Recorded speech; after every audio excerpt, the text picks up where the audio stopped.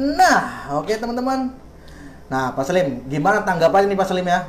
Eh, Pak Salim gimana perasaannya tiba-tiba Mas Faisal dan itu tiba-tiba nggak pernah main lagi ke rumah itu? Ya, kalau saya mah kagak ambil pusing sih biasa-biasa aja. awal-awal itu kan pasti itu kan rame banget itu kan. Nah, itu kan karena netizen aja mulutnya. Nah, itu Pak Salim tanggapan seperti gimana? Ya kalau saya nanggepinnya biasa aja. Kenapa biasa aja? Ya saya bilang begini, kata bilang ngomong ada masalah lagi. Saya bilang nggak ada masalah saya sih bilang.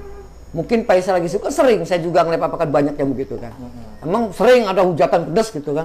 ya beginilah begitulah. Cuma saya orangnya ya bodoh amat sih gitu aja. Terus? Iya. Sampai ada pernah ya saking saya ladenin ya berkohat sampai kena spam TikTok itu ke Bennett ada seminggu ya seminggu ke Bennett Tapi Pak Salim itu pasti tinggal sama saya dihujat habis-habisan itu, Pak. eh Ya Pak Salim pasti tinggal saya nggak ngonten-ngonten ke Pak Salim itu kan netizen kan pernah nanya nanyain seperti gimana itu dihujat habis-habisan itu. tuh Bener kan? ya nggak tahu itu itu apa Salim kepikirannya apa itu, Pak? apa Apakah ya? gara-gara Faisal nggak main-main ke sini sampai saya dihujat begini atau gimana tanggapannya Pak Salim? ya mungkin Sampai icut waktu apa? itu kan eh, karena ada netizen juga mungkin ya Hmm. mungkin ada yang bilang angin-angin gitu kan jadi semacam kayak ngompor-ngompori Iya. Nah otomatis saya jujur saya juga terpancing waktu itu memang terpancing saya itu Aku nonton loh, Pak. terpancing Aku saya listrik Nah, cuman saya nonton. kadang eh, apa ya? sampai Salim marah-marah di di live stream TikTok aku Iya, aja itu. sempet- Aku nggak pernah Sempet apa komen. namanya? Sempet sempet kesal juga gitu kan.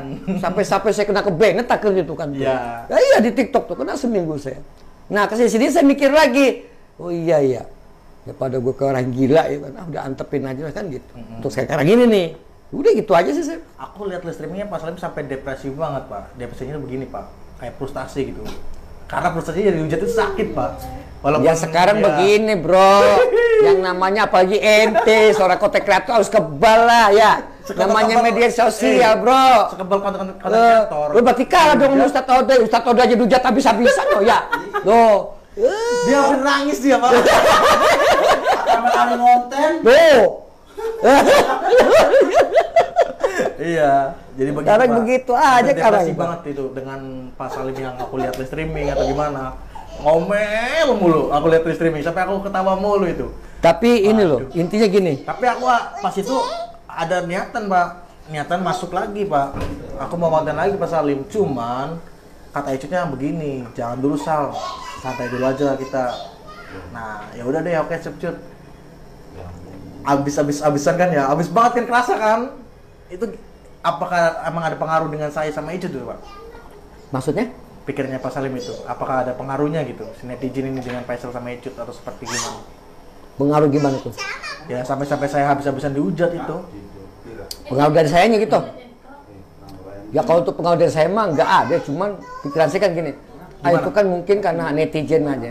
Netizen kan tahu sendiri. Kadang kan dia opininya itu kan orang kan beda-beda. Ya namanya opini orang itu kan kita nggak bisa apa namanya? nggak bisa nilai oh iya harus begini harus kan enggak. Iya. Itu kan emang mulutnya dia emang pedes-pedes. Jangankan Faisal. Saya aja tahu sendiri sampai habis-habisan saya. Iya, iya. Dibilang burut lah, dibilang apa? Bola apa sih dibilang kata tuh? Wah, pokoknya macam-macam lah. Sakit tuh bener banyak. Cuman ya gimana? Iya.